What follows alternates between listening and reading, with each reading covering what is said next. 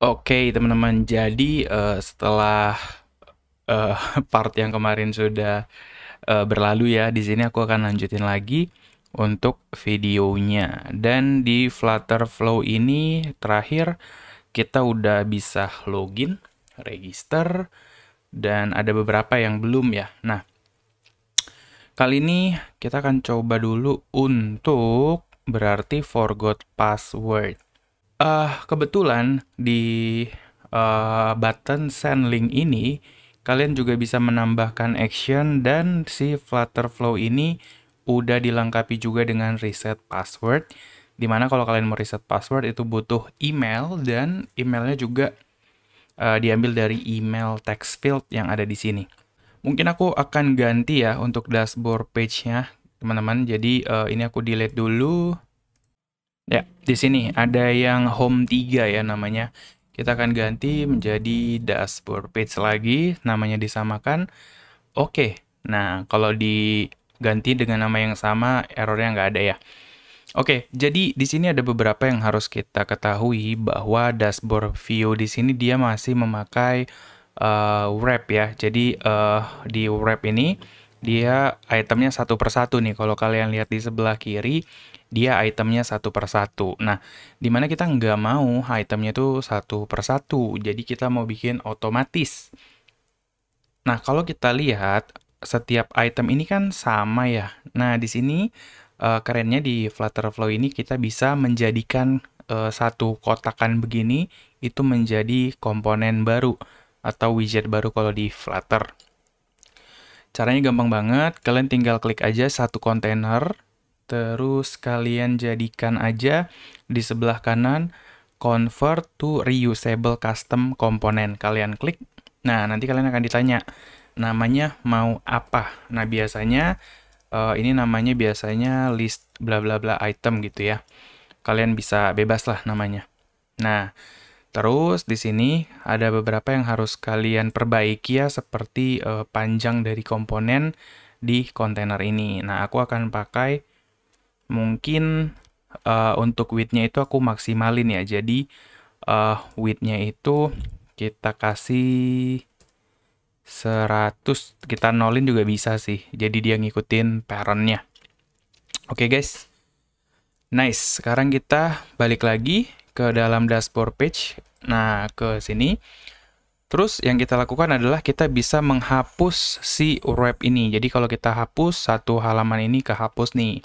Jadi kalian delete aja pakai backspace, kehapus ya. Nah, tugas kita adalah mereplace dia dengan komponen lain, yaitu biasanya kita bungkus dulu pakai container. Nah, di dalam kontainer sini kita akan tambahkan yang namanya grid view. Begini. Oke. Nah, grid view ini, teman-teman, jadi kalau item ditambah, dia akan nambah ke kanan dan ke bawah ya, tergantung uh, settingan yang kita bikin. Nah, sekarang si grid view ini kita mau ganti uh, mungkin kontainernya ya. Jadi width-nya itu kita pakai yang infinity. Uh, jadi dia kanan dan ke kiri, dia kiri dan ke kanan itu pakai maksimal dan Nah, kita bisa ganti, oh sorry, kita bisa ganti height dari kontainer ini tingginya menjadi persen dan kita bikin 100% aja. Jadi dia akan uh, menutup semua layar sisanya ya, berarti uh, dari atas ke bawah. Oke, okay, next. Nah, di dalam grid view ini kita akan tambahkan itemnya itu dari komponen yang udah kita bikin yang ada di sini. Jadi kalian bisa klik dan kalian klik aja itemnya. Nanti dia akan nambahkan ke sini. Jangan lupa juga untuk ngesetting si grid view ini supaya yang ini nih, cross axis alignmentnya kita bikin dua aja. Jadi setiap baris ada dua. Terus uh, jarak antar baris dan kolom diatur di sini. Dan aspek rasionya mau berapa banding berapa. Biasanya uh, ini bentuknya ups sorry biasanya ini bentuknya satu per dua gitu ya jadi uh, biasanya pakai 0, sih 0, 5 misalnya. Nah, ini kalau 0,5 berarti 1 banding 2 gitu-gitu ya. Uh, ini preference masing-masing sih teman-teman ya. Ada yang begini juga sih. Nah, 0,9 juga bisa dan lain-lain. Oke, nah next gimana caranya supaya kita bisa mendapatkan item ini dari Firebase kita? Yang artinya ketika data di Firebase bertambah atau berkurang, dia juga ikut bertambah dan berkurang. Kita akan masuk ke project Firebase. Uh, kalian bisa ke bagian build dan kalian lihat di Firestore database. Tapi di sini kita akan setupnya itu dari uh, Flutterflow. Jadi kalian ke setting dan di sini, oh sorry, di bagian ini ya, di bagian Fire uh, Store di sini sebelah kiri, uh, kalian ke setting dulu, terus kalian bisa uh, validate dulu ya teman-teman ya, kalian validate dulu uh, supaya kita lihat, oke okay, validationnya statusnya udah true, terus kalian ke collection, terus kalian klik tombol plus ini, terus kalian bikin sebuah collection di sini. Misalnya aja collectionnya adalah items, ya. Jadi kalian create. Nah, di sini kalian bisa add field. Contohnya aja kita akan tambahkan name, tipe datanya adalah string untuk nama itemnya, dan juga image tipe datanya juga string untuk gambarnya.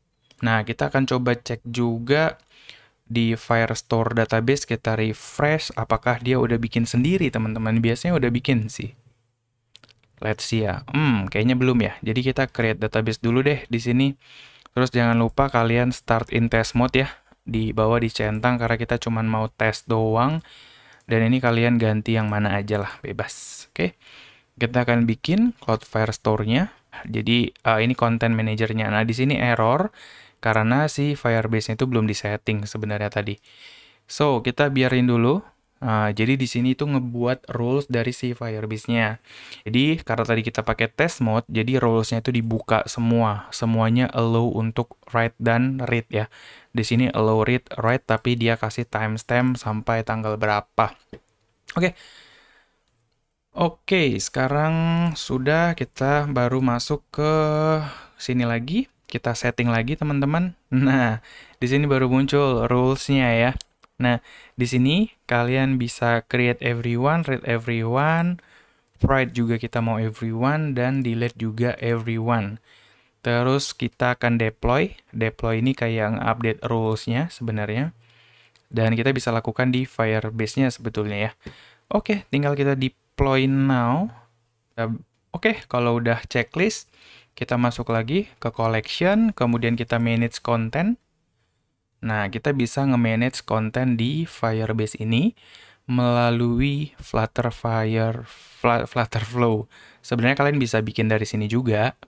Cuman supaya connect teman-teman jadi kita bikinnya dari Flutter Flow-nya ya. Alright, jadi tadi kita udah bikin sebuah collection namanya items. Nah, di sebelah kiri ini ada dan di sebelah kanan ini lagi ngeloading dokumen namanya. Nah, kalau di sebelah kiri itu namanya collection, di sebelah kanan ini namanya dokumen. Jadi kita tinggal add dokumen, contohnya aja namanya friends fries. Kita akan cari image. Kita image, terus kalian bisa buka gambarnya dulu aja, klik kanan, copy image address, dan kalian masukkan ke dalam sini. Uh, panjang banget. Kayaknya bukan itu deh. Ntar ya teman-teman ya. Nah ini. Paste add document. Kita akan coba tambahkan beberapa dokumen ya teman-teman ya. Strawberry mungkin. I don't know. Dan voila. Oke. Kita udah punya tiga di sini. Nah, sekarang tugas kita adalah gimana mengkonekkan items yang ada di sini. Itu sebenarnya gampang banget. Jadi contoh, ya contoh. Kalian kan tadi udah bikin atau kita sih tepatnya udah bikin list item ya. Nah, list item ini kalian bisa setup parameternya di sebelah kanan sini teman-teman. Jadi apa aja data yang dynamic gitu ya, yang akan berubah. Oke, sebenarnya di sini ada dua ya harusnya namanya, cuman kita punya satu, jadi ya udahlah. Yang pertama namanya name atau uh, product name, bebas. Tipenya apa? karena tadi kita tipenya string, ya otomatis di sini juga string ya. Hmm. String itu, nah ini nih, oke. Dan satu lagi yaitu adalah uh, image URL misalnya. Jadi namanya aku bedain ya biar kalian nggak terpaku sama namanya harus sama atau bisa beda gitu. Jadi bisa beda. Nah, kita udah bikin. Kemudian kita balik lagi ke bagian uh, komponen di dalam dashboard page. Nah, di sini. Jadi, ketika kalian mau ngambil data di sini, dia akan bertanya nih, teman-teman, di sebelah bawah kanan, uh, namanya apa gitu ya, namanya apa. Jadi, kalian bisa tekan dulu di grid view, kalian atur dulu di backend query, terus kalian set. Jadi, si grid ini datanya mau diambil dari mana. Nah, kita akan ambil dari query collection. Nanti query collectionnya adalah items. Nah, dia akan ngebaca data-data yang udah kita bikin tadi. Dan di sini query tipenya atau tipe datanya apa? Karena ada lebih dari satu, jadi kita pakainya list of document ya. Karena tadi ada banyak kan. Limitnya nggak usah, dibiarin aja karena kita nggak mau ngebatasin. Dan kita balik lagi ke sini. Nah, kita klik lagi gridnya. Kita klik itemnya. Nah, sekarang barulah kita ambil product name-nya ini. Kita akan set from variable. Kita akan ambil dari... Uh, hmm, kenapa belum ke set ya teman-teman? Sorry, sorry. Kayaknya tadi aku belum tekan... Nah, kita tekan confirm ya, jangan lupa. Nah, kita confirm. Nah, jadi ketika kita udah kasih tahu data-datanya nanti akan di-load dari sana. Nah, nanti di sini dia akan uh, kayak menyediain beberapa tempat gitulah. Jadi kalian bisa atur nih sekarang teman-teman di dalam uh, list yang ini, perbagian satu list ini, ketika dia dipanggil, kita akan pasangkan datanya. Nah, kalau udah kepasang nanti ada items dokumen begini ya. Kalian ambil uh, name-nya dari mana? Dari name. Terus uh, image URL-nya dari mana? Kalian ambil dari image gitu ya. Nah, data-data ini semua itu sebenarnya udah ada di Firebase yang kalian setup tadi dari sono. Tapi di sini kayaknya belum ada ya teman-teman. Uh, biasanya agak delay. Nah ini, udah ada di sini. Padahal kita tadi ngisinya di Flutterflow kan. Jadi datanya udah sinkron. Kita pasangkan ke item yang ini. Jadi kan tadi namanya udah kita get nih. Nah sekarang kita tinggal replace di sini nih. Kategori name itu nanti jangan diketik, tapi kita get dari data yang udah dibawa dari depan tadi, yaitu adalah product name, dan image-nya pun begitu. Nah, image-nya pun sama ya, jadi hmm, kalian lihat ke bawah, image-nya karena tadi bentuknya URL, jadi kita pakai network, dan set from variable-nya ambil dari image URL dan kalian confirm. Tapi aku bingung teman-teman, kenapa di sini value-nya itu ini gitu, error. Hmm, Padahal aku udah bener nih harusnya nih. Ya udahlah teman-teman ya, anggap aja sekarang image-nya itu uh, kita hardcode aja. Cara terbaik. Oke. Okay. Tapi that's it teman-teman, kalau sudah semua di setup seperti tadi, harusnya uh, kita udah bisa ngeran ya. Tapi uh, ayo kita coba lihat dulu, mulai dari out page, login, login, nanti masuk ke setting, ya sebelum setting ada dashboard page, namanya harusnya nanti udah berubah semua ya, kecuali gambarnya. Oke, okay. hmm, sekarang kita akan coba run. Oke, okay, jadi di sini udah masuk lagi ke halaman login dan tadi kita sempat uh, setup yang forgot password, jadi kita akan sekalian coba tes. Di sini aku akan masukin email yang valid ya. Oke, terus kita send link. Dan harusnya guys. Oke, di sini emailnya udah masuk teman-teman. Nah, yang ini ya. Uh, tadi aku dua kali ngirim jam 2144, sini 2145. Jadi ini adalah password untuk res untuk resetnya. Kalian bisa klik. Nah, password aku sebelumnya itu 1 sampai 6. Nah, kita akan bikin password baru, misal aja passwordnya um, anan test gitu ya. Kita akan save. Nah, setelah passwordnya diganti, harusnya ya harusnya sesuai dengan dugaan. Kalau kita mau login lagi guys. Eh bukan di sini. Nah kalau kita mau login lagi kita harus pakai email yang sama.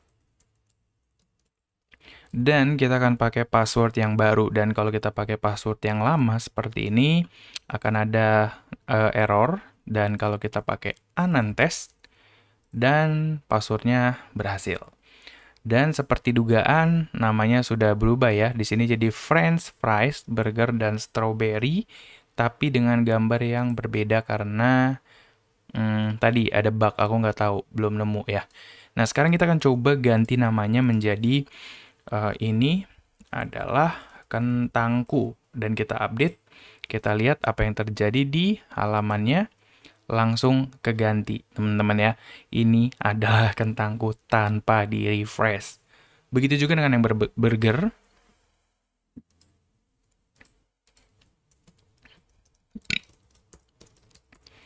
Dan kita set. Yang terjadi adalah hmm, ini burger. Oke. Jadi sepowerful itu Firebase ya. Itu yang powerful Firebase bukan uh, Flutterflow ya. Oke. okay. So itu aja ya. Sampai ketemu di video gue yang berikutnya. Bye bye.